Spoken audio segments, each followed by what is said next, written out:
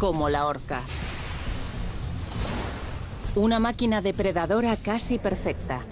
Comparada con cualquier otro animal, no solo es superior en fuerza, sino en inteligencia. Con un asombroso nivel de trabajo en equipo, la orca desarrolla la estrategia de caza más atrevida del reino animal.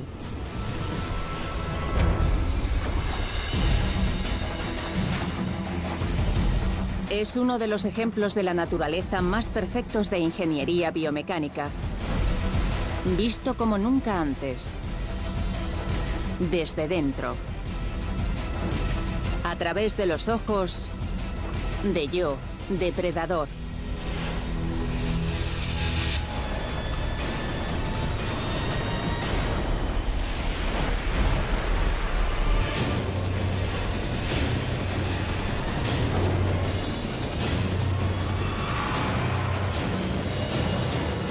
Depredador.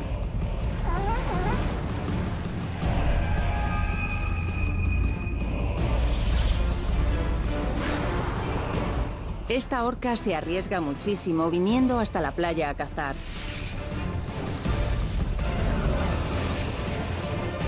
Porque el más pequeño fallo de cálculo podría dejarla atrapada en la orilla. Pero esta vez ha conseguido un enorme aporte calórico. Con esta osada estrategia de caza, la orca está considerada el mejor cazador del océano. Las orcas son depredadores increíblemente fuertes. Siendo realistas, podemos afirmar que son los mejores depredadores del océano y se desayunan a los tiburones. A veces su tamaño es suficiente para vencer a su presa. A pesar de recibir el nombre de ballena asesina, la orca es de hecho la especie de delfín más grande del planeta. Se han ganado ese sobrenombre porque son uno de los pocos depredadores en el mundo que pueden matar a una ballena. Son muy versátiles y en cada región cazan animales diferentes. Cada presa utiliza tácticas defensivas diferentes y presenta un problema específico que las orcas tienen que resolver en cada ocasión para poder sobrevivir. Y lo hacen en equipo.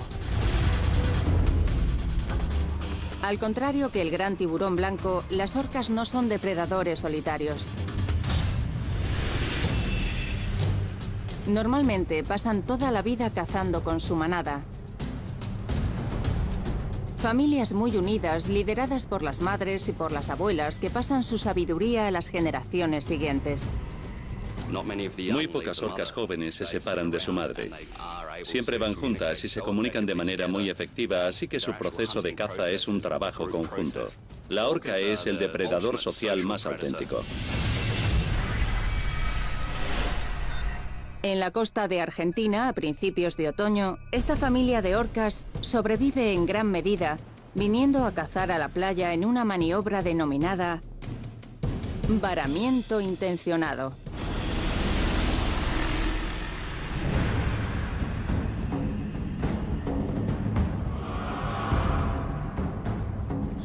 La playa está llena de cachorros de león marino, aprendiendo a nadar.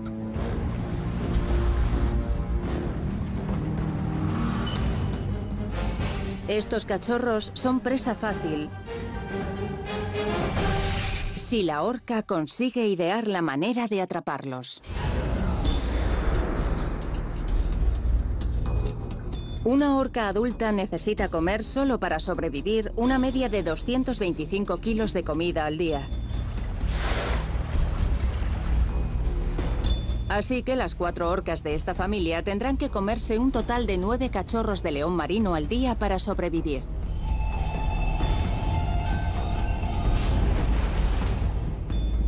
Cada miembro del grupo tiene que colaborar. Por eso es sumamente crucial que la madre enseñe a su hijo a cazar. La madre empieza a enseñar a la cría, con solo dos meses de edad, cómo ayudar al grupo y cómo perseguir a la presa. Esta madre está lista para enseñarle a su hija la técnica del varamiento intencionado.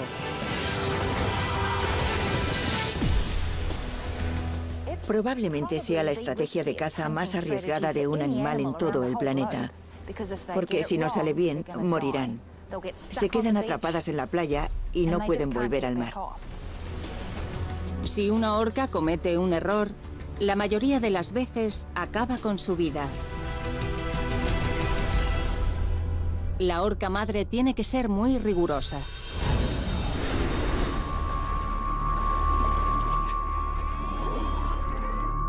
Primero hacen un par de pruebas para medir la superficie de la playa y el ángulo de inclinación. Requiere mucho trabajo y esfuerzo y mucho entrenamiento llegar hasta la playa y cazar a estos cachorros de león marino. Está calculando todo y se pregunta, ¿es la playa lo suficientemente empinada? Una vez que me lance fuera, ¿podré volver a entrar? ¿Es seguro llevarme a mi cría y enseñarle cómo cazar estos cachorros de la orilla? Empuja a su hija dentro y fuera de las aguas menos profundas para que experimente la sensación de la tierra rozando su cuerpo. Ahora llega el momento de enseñarle cómo se hace.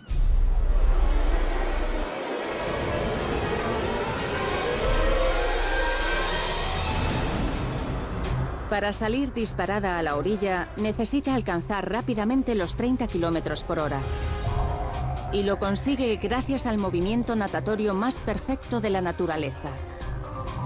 Comienza con un potente aleteo hacia abajo, iniciado con los enormes músculos que van desde su aleta dorsal hasta la aleta de la cola, y la mueve rápidamente de arriba abajo. Después de golpear hacia abajo, la aleta vuelve hacia arriba hasta alcanzar un ángulo de 90 grados. Entonces el resto del cuerpo sigue la inercia del aleteo, que genera una potencia de 108 caballos. La energía generada por estos movimientos es tan potente que podría iluminar a toda la ciudad de Nueva York durante más de un segundo.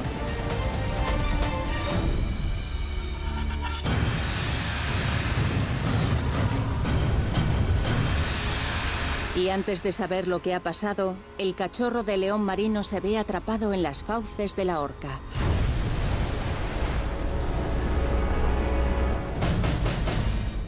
Le da un mordisco brutal.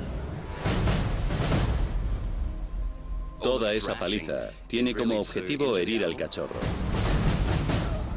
Si se lo quedara en la boca tal cual, podría arañar o herir a la horca.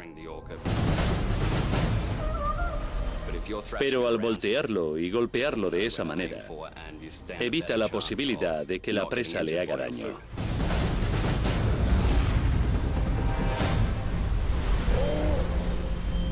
Después de golpear al cachorro, con su hija mirando atentamente, hace algo que parece ir en contra del comportamiento propio de cualquier depredador de la naturaleza.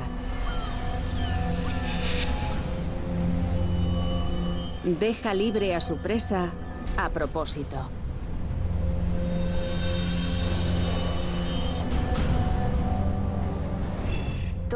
La orca necesita practicar mucho su varamiento intencionado. Y a veces cuando acaba de entrenar si no tiene hambre, deja libre al cachorro para que vuelva a la playa.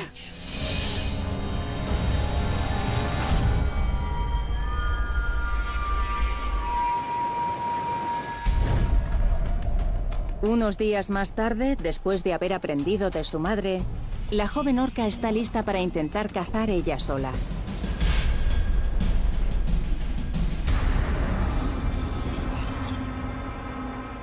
Oye el ruido de las piedras de fondo.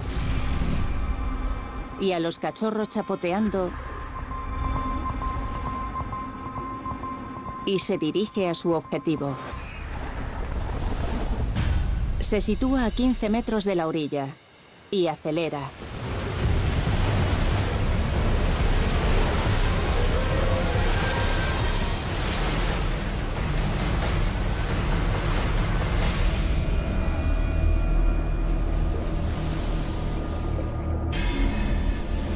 No solo no ha atrapado al cachorro, sino que ha salido demasiado y se ha quedado atrapada en la arena.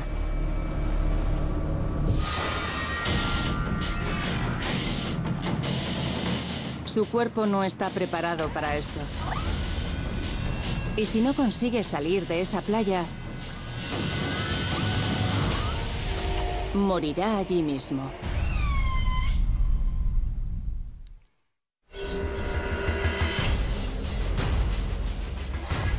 El agua cubre la mitad de su cuerpo, pero esta joven orca no flota lo suficiente como para salir nadando. Todavía no controla bien la técnica del varamiento intencionado. Y la orca ha sido demasiado agresiva, lanzándose a la playa a 50 kilómetros por hora. Atacar a esa impresionante velocidad ha sido un error fatal. Su cuerpo de casi dos toneladas de peso está amenazado por un asesino inesperado. La gravedad. Su esqueleto está diseñado para el movimiento en el agua, no para el movimiento en tierra como los humanos. Nuestra cadera es fuerte y ancha y distribuye todo nuestro peso. Pero su cadera es del tamaño de nuestro meñique y no puede soportar sus 2.500 kilos. No puede evitar que la fuerza de la gravedad comprima sus pulmones, disminuyendo así la entrada de oxígeno. Además, la presión del cuerpo está dañando las membranas celulares, liberando proteínas de los músculos en la corriente sanguínea. Los riñones intentan filtrar las proteínas, pero son tóxicas para las células. Si se liberan demasiadas proteínas, podrían provocar el fallo de los riñones. Esta orca no solo está en peligro, sino que se le acaba el tiempo.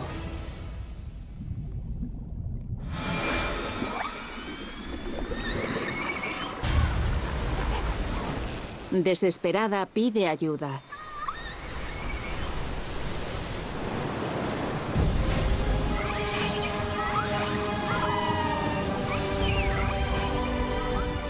Su madre oye la llamada y acude de inmediato.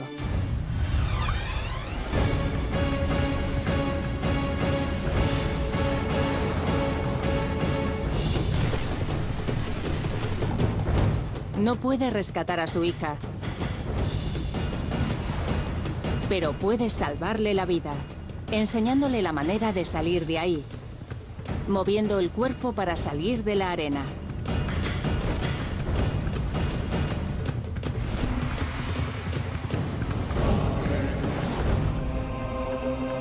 Si la cría imita los movimientos de la madre, podrá escapar de la playa. Utiliza las aletas pectorales para intentar empujarse fuera de la playa. Y cuando se dé la vuelta, moverá la cola como loca.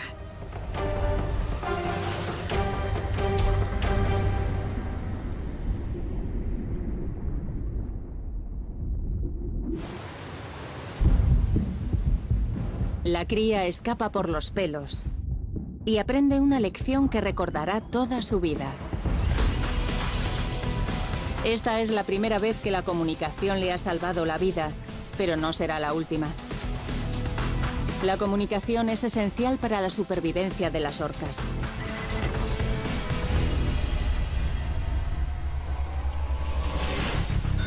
Costa de Columbia Británica, Canadá.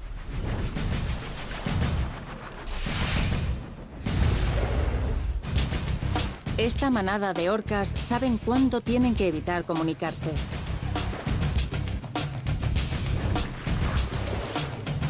Están cazando un elefante marino.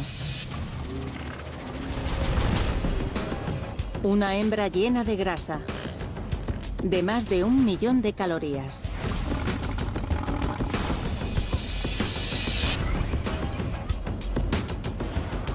El menor ruido de las orcas podría costarles la comida de hoy.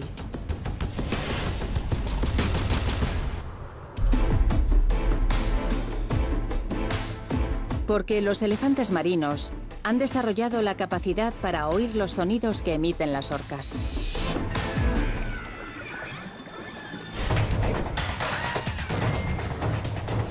Es un sistema de alarma biomecánico que les permite detectar a su atacante antes incluso de que lancen su ataque.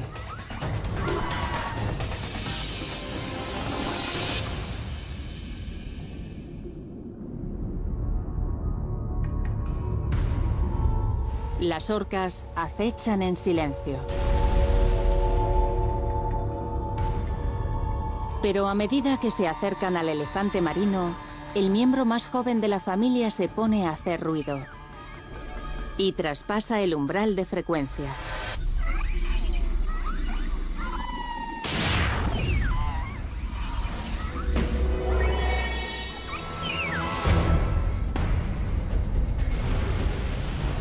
El elefante marino se sumerge y toma una gran ventaja. Pero la joven y desenvuelta orca le persigue. Y más le vale darse prisa porque no sabe que el elefante marino puede estar bajo el agua durante 30 minutos. Tiene menos de 3 minutos para alcanzarlo antes de quedarse sin oxígeno. A ese ritmo nunca atrapará al elefante marino a tiempo. Conforme se acerca a la profundidad de 70 metros, su cuerpo se transforma en una máquina de submarinismo. De repente, sus pulmones se colapsan.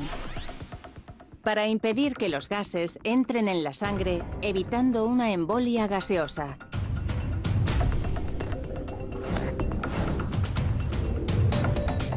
Cuando los pulmones se desinflan hasta una pequeña parte de su tamaño original, disminuye el volumen de su cuerpo. Ahora pesa más que el agua y se hunde como una roca.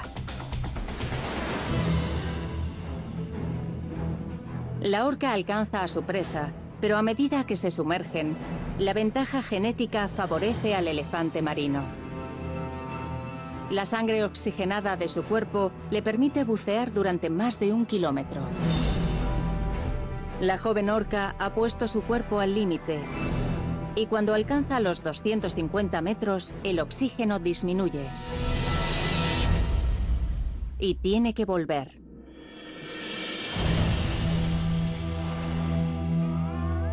El acercamiento poco cuidadoso de la joven orca ha desbaratado la estrategia de toda la familia y les ha dejado sin una presa de más de un millón de calorías.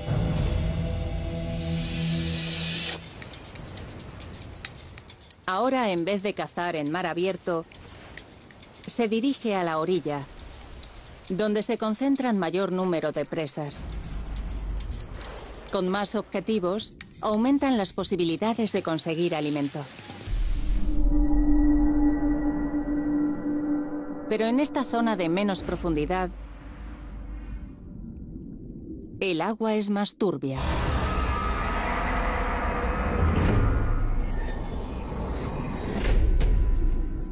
Y es muy difícil cazar lo que no se ve. La joven orca sigue siendo, sin embargo, una experta rastreadora. Y es capaz de cazar cualquier presa sin necesidad de ver.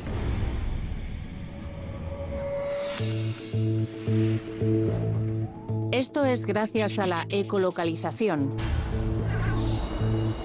Un sonar biológico tan potente que puede percibir un objetivo del tamaño de una mandarina a una distancia de 100 metros.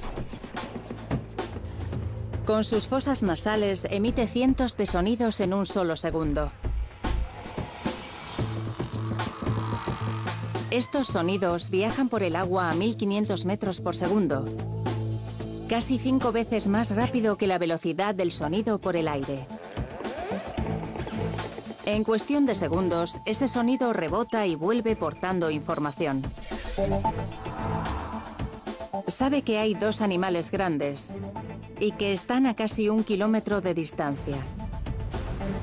Incluso sabe en qué dirección ir para encontrarlos pero no son objetivos ideales. Son muy grandes y una pelea con ellos podría herirla. Así que sigue investigando e inicia una nueva fase de ecolocalización mucho más sofisticada que un sonar militar. Según la variación de la velocidad en el eco que le llega de vuelta, sabe que miden un metro y medio y que pesan unos 90 kilos. Tienen una capa de grasa de al menos 5 centímetros, lo que significa que son leones marinos adultos. Y finalmente le llega un dato crucial. Uno de ellos se mueve de manera errática y tiene una densidad inusual. Está herido, tiene una costilla rota. El objetivo perfecto.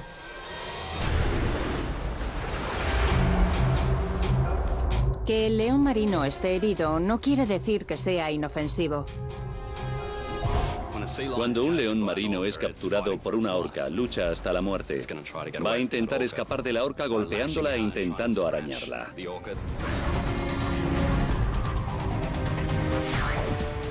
Para minimizar el riesgo de salir heridas, las orcas tienen que atacar con una estrategia.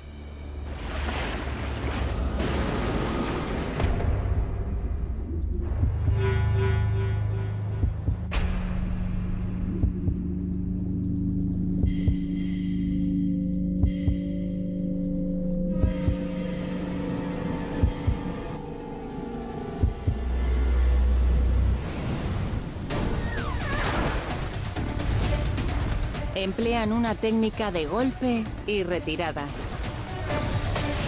Van atacando una tras otra con movimientos rápidos.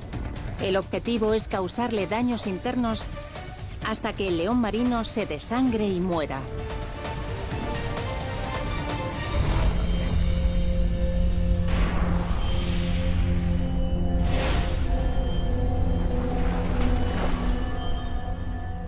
Los golpes son tremendamente salvajes.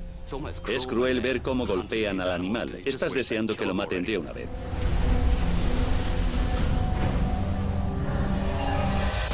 Puede parecer cruel, pero de esta manera las orcas desarman a la presa y evitan así que pueda herirlas. Para ello han desarrollado técnicas espectaculares y creativas.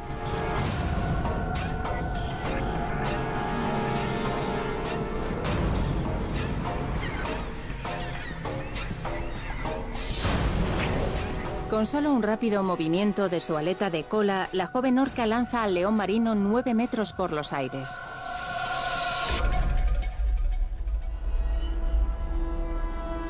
A una velocidad de 45 kilómetros por hora, la presa impacta contra el agua.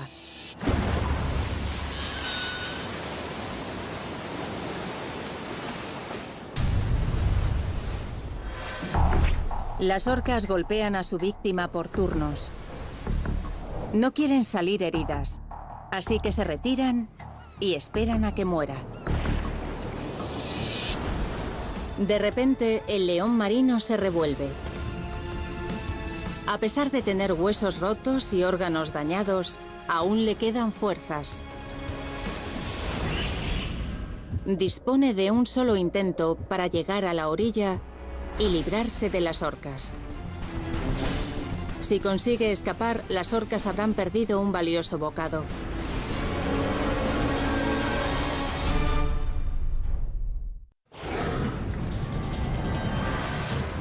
El león marino nada desesperadamente.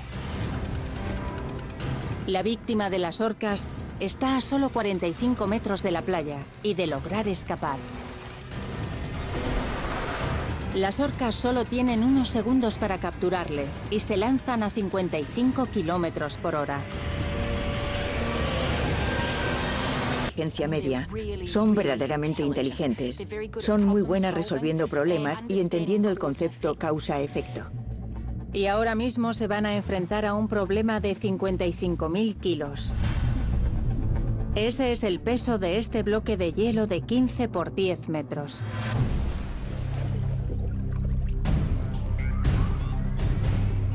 Inclinarlo es impensable. Las orcas no pueden levantarlo y aguantarlo hasta que la foca se deslice y caiga al agua. El hielo es demasiado duro. A pesar de que las orcas son fuertes, no pueden romperlo a golpes. Cuando la fuerza falla, hay que usar el cerebro.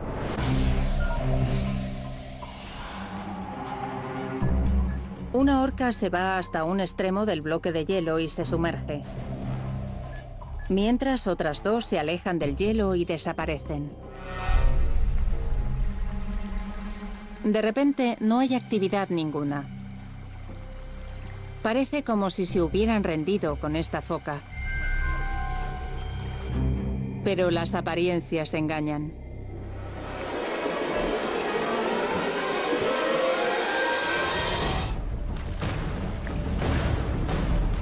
El hielo se resquebraja en cinco trozos y la balsa salvavidas de la foca se ha hundido un 80%.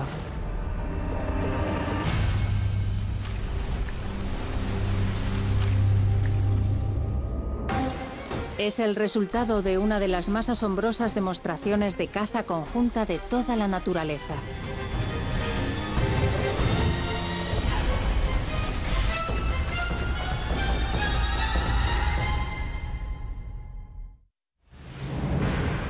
Estas orcas han perfeccionado el arte de crear olas mortales en las que el agua se convierte en su arma más letal.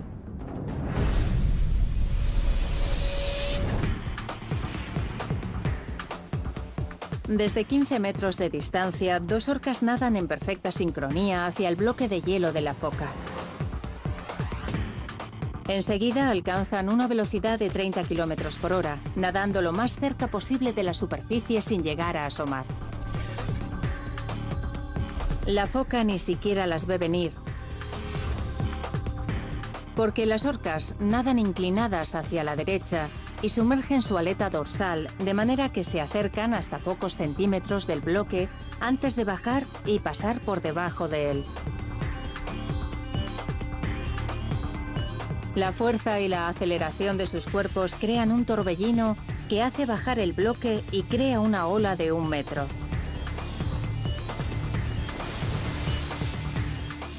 Tan potente que rompe el bloque de hielo de 55.000 kilos en cinco trozos y deja a la foca en un trozo de hielo menos grueso.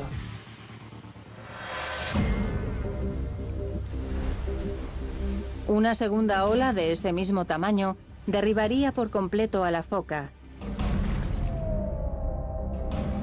que intuye el peligro y se cambia a un bloque de hielo tres veces más grande que el primero. Las orcas son muy perseverantes. Si no consiguen a la primera lo que quieren, seguirán intentándolo una y otra vez. Las orcas rodean el bloque de 375 metros cuadrados y se preparan para la siguiente fase de ataque en la que cada miembro tiene una misión que cumplir.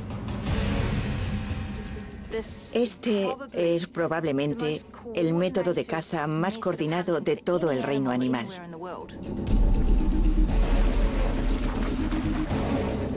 Primero golpean el hielo con una ola rápida para romper el borde de hielo menos sólido. Llega una segunda ola, pero es demasiado pequeña.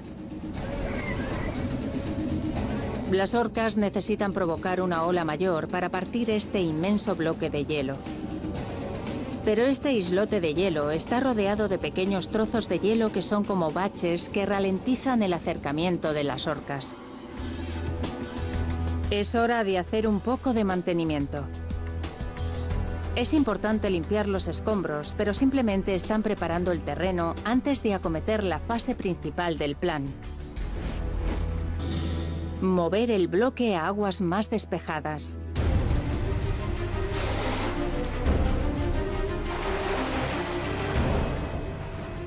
De hecho, apoyan la nariz contra el bloque y lo sacan de ahí literalmente a empujones. Pueden predecir el futuro, es decir, que entienden perfectamente lo que pasará si hacen eso. Y no hay muchos animales que puedan desarrollar ese tipo de pensamiento. Al mover el bloque de 93.000 kilos a mar abierto, la foca va a tener muy complicado el escapar y subirse a otro bloque. Además, las orcas tienen aquí suficiente espacio para golpear el bloque con olas más potentes.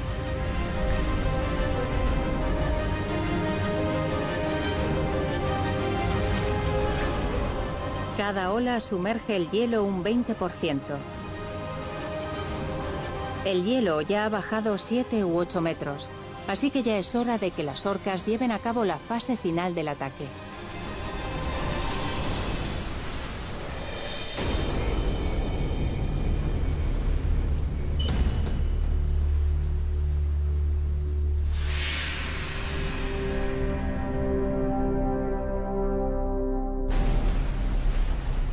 Sin salir del agua, esta manada de orcas han cazado su presa gracias a un incomparable despliegue de creatividad y trabajo en equipo.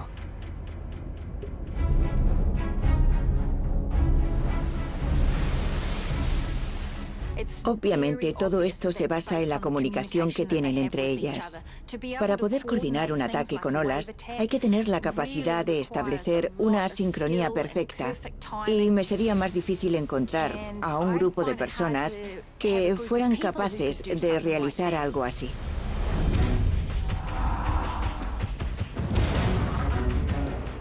Las orcas tienen una asombrosa capacidad de aprendizaje y continúan adaptándose a su entorno y ampliando su conjunto de estrategias predatorias. Se niegan a aceptar las limitaciones de cualquier animal acuático y se atreven también a cazar en tierra. Han mejorado su fuerza y han perfeccionado su estrategia para enfrentarse a una criatura que pesa tanto como una avioneta. Han aprendido cuándo dejar la fuerza bruta para dejar paso a una astuta batalla biomecánica. Y han desarrollado métodos de caza tan precisos y coordinados como una unidad táctica militar. Esta extraordinaria habilidad para trabajar en equipo y para superar cualquier desafío convierte a la orca en el mejor depredador de los océanos.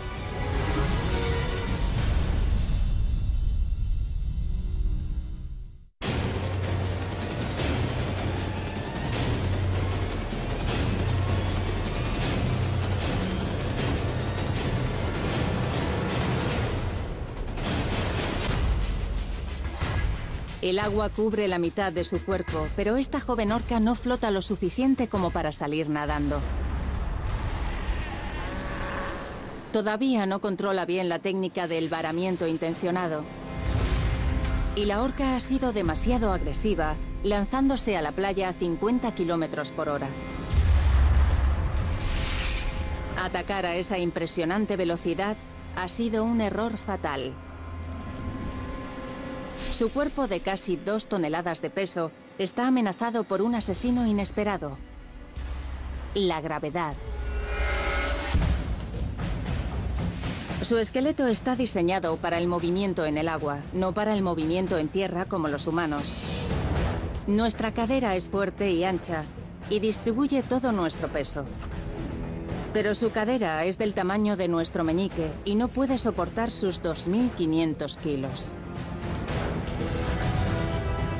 No puede evitar que la fuerza de la gravedad comprima sus pulmones, disminuyendo así la entrada de oxígeno. Además, la presión del cuerpo está dañando las membranas celulares, liberando proteínas de los músculos en la corriente sanguínea. Los riñones intentan filtrar las proteínas, pero son tóxicas para las células. Si se liberan demasiadas proteínas, podrían provocar el fallo de los riñones. Esta orca no solo está en peligro, sino que se le acaba el tiempo.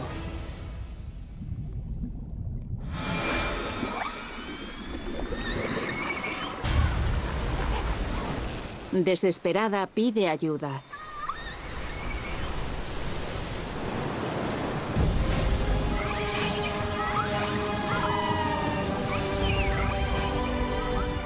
Su madre oye la llamada y acude de inmediato.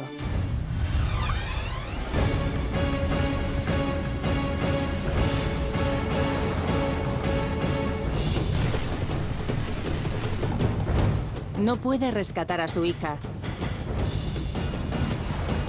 pero puede salvarle la vida, enseñándole la manera de salir de ahí, moviendo el cuerpo para salir de la arena.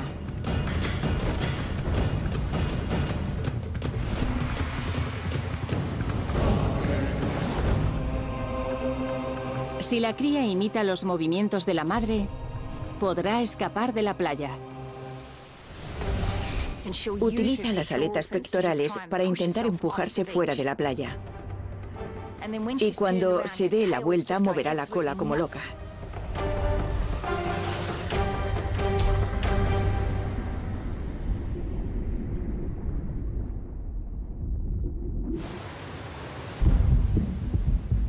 La cría escapa por los pelos y aprende una lección que recordará toda su vida.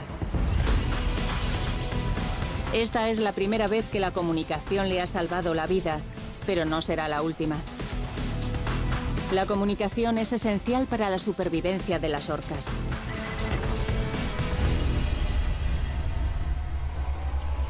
Conjunto. La orca es el depredador social más auténtico. En la costa de Argentina, a principios de otoño, esta familia de orcas sobrevive en gran medida viniendo a cazar a la playa en una maniobra denominada varamiento intencionado.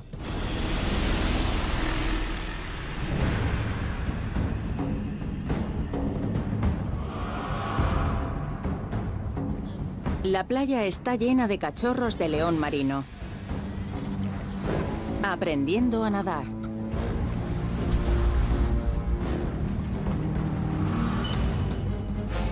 Estos cachorros son presa fácil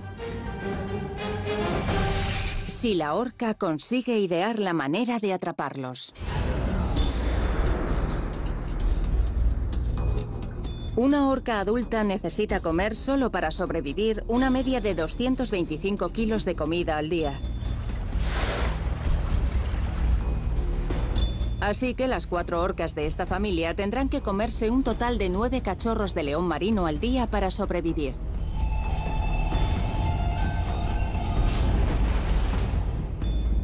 Cada miembro del grupo tiene que colaborar. Por eso es sumamente crucial que la madre enseñe a su hijo a cazar. La madre empieza a enseñar a la cría con solo dos meses de edad cómo ayudar al grupo y cómo perseguir a la presa. Esta madre está lista para enseñarle a su hija la técnica del varamiento intencionado.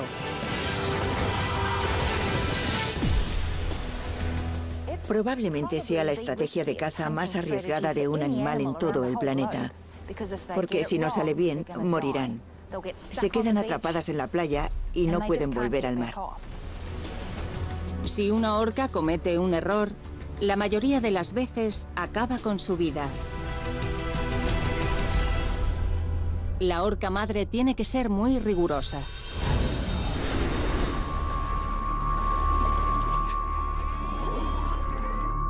Primero hacen un par de pruebas para medir la superficie de la playa y el ángulo de inclinación. Requiere mucho trabajo y esfuerzo y mucho entrenamiento llegar hasta la playa y cazar a estos cachorros de león marino. Está calculando todo y se pregunta, ¿es la playa lo suficientemente empinada? Una vez que me lance fuera, ¿podré volver a entrar? ¿Es seguro llevarme a mi cría y enseñarle cómo cazar estos cachorros de la orilla?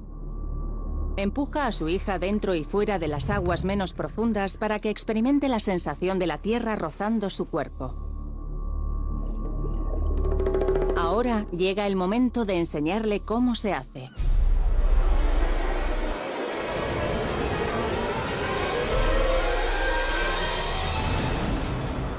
Para salir disparada a la orilla, necesita alcanzar rápidamente los 30 kilómetros por hora y lo consigue gracias al movimiento natatorio más perfecto de la naturaleza. Comienza con un potente aleteo hacia abajo, iniciado con los enormes músculos que van... Costa de Columbia Británica, Canadá.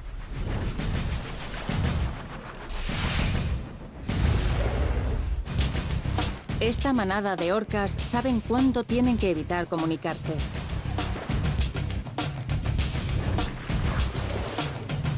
Están cazando un elefante marino. Una hembra llena de grasa, de más de un millón de calorías.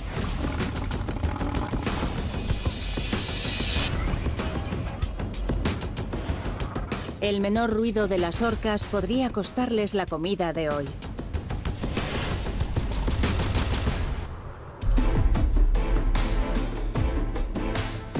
Porque los elefantes marinos han desarrollado la capacidad para oír los sonidos que emiten las orcas.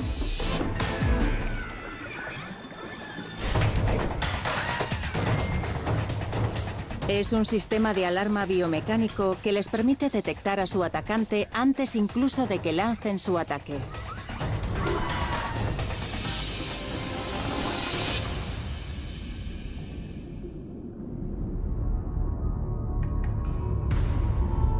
Las orcas acechan en silencio.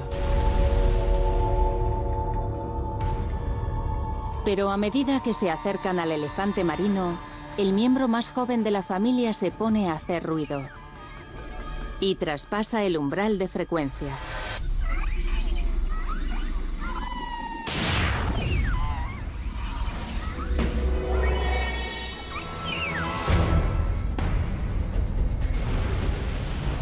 El elefante marino se sumerge y toma una gran ventaja. Pero la joven y desenvuelta orca le persigue. Y más le vale darse prisa porque no sabe que el elefante marino puede estar bajo el agua durante 30 minutos. Tiene menos de 3 minutos para alcanzarlo antes de quedarse sin oxígeno. A ese ritmo nunca atrapará al elefante marino a tiempo. Conforme se acerca a la profundidad de 70 metros, su cuerpo se transforma en una máquina de submarinismo. De repente, sus pulmones se colapsan. Para impedir que los gases entren en la sangre, evitando una embolia gaseosa.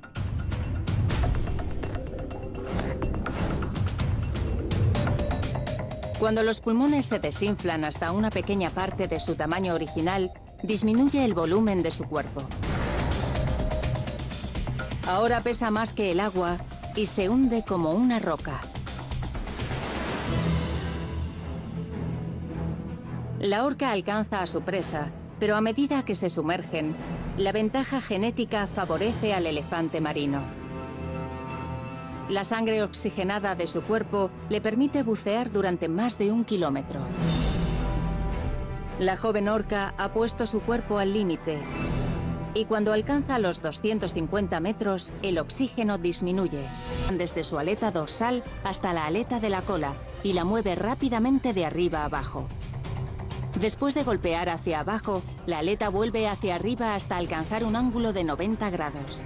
Entonces el resto del cuerpo sigue la inercia del aleteo que genera una potencia de 108 caballos. La energía generada por estos movimientos es tan potente que podría iluminar a toda la ciudad de Nueva York durante más de un segundo.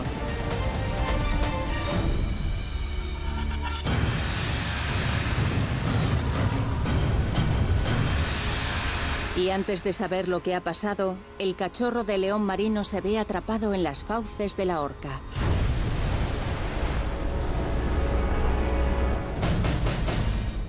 Le da un mordisco brutal.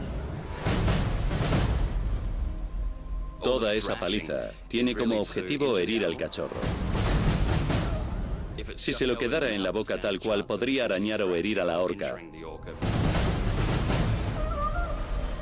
Pero al voltearlo y golpearlo de esa manera, evita la posibilidad de que la presa le haga daño.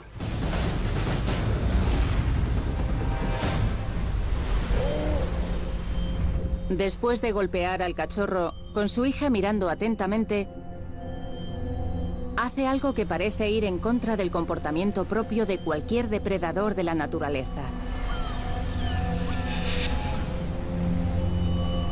Deja libre a su presa a propósito.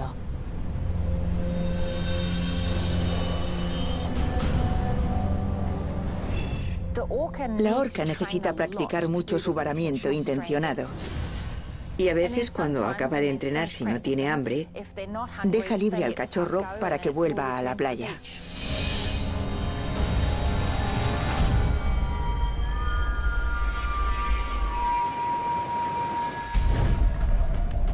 Unos días más tarde, después de haber aprendido de su madre, la joven orca está lista para intentar cazar ella sola.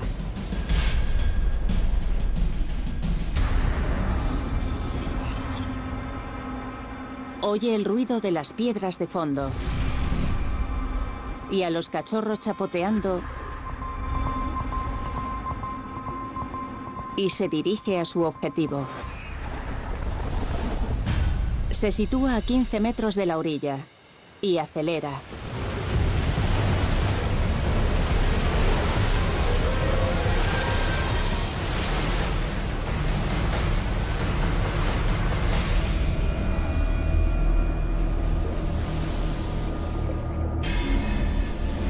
No solo no ha atrapado al cachorro, sino que ha salido demasiado y se ha quedado atrapada en la arena.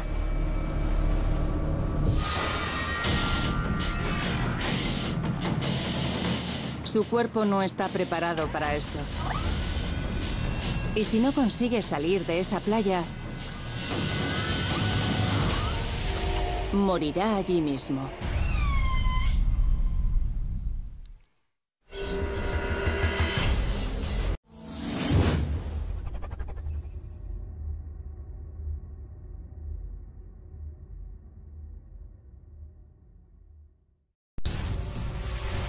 Como la orca.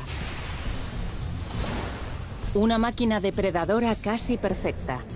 Comparada con cualquier otro animal, no solo es superior en fuerza, sino en inteligencia. Con un asombroso nivel de trabajo en equipo, la orca desarrolla la estrategia de caza más atrevida del reino animal.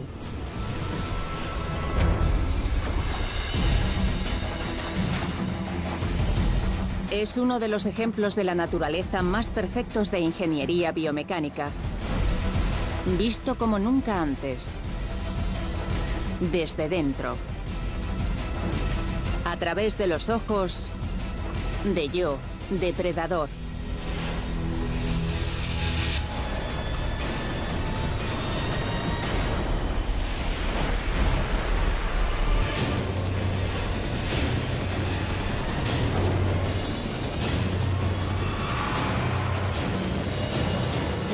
Depredador.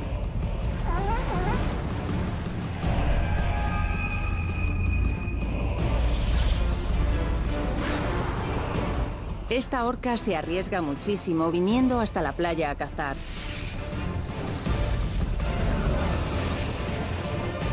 Porque el más pequeño fallo de cálculo podría dejarla atrapada en la orilla. Pero esta vez ha conseguido un enorme aporte calórico. Con esta osada estrategia de caza, la orca está considerada el mejor cazador del océano.